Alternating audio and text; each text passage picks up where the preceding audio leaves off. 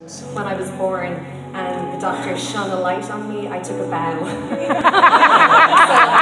when I was about five years old, I remember the teacher, see there, there's flies and hair and everything. And I remember the teacher coming into school and she said, we're going to do the Wizard of Oz as our school play. And I immediately put up my hand and I went, oh, I have a Dorothy costume. And she said, oh, that's fantastic, Lisa. And I had to run home and tell my mom that she had to make me a Dorothy costume. that didn't happen. But um, I got to sing this really lovely song, so I hope I sing it better tonight than I did when I was five. But who knows? This is Over the Rainbow for anyone who's ever had a dream. Woo!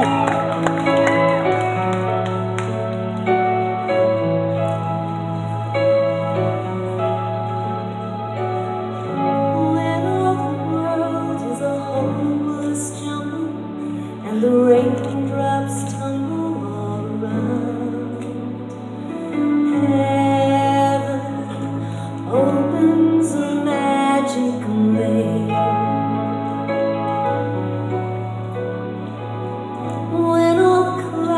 darken up the skyway, there's a rainbow highway to be found.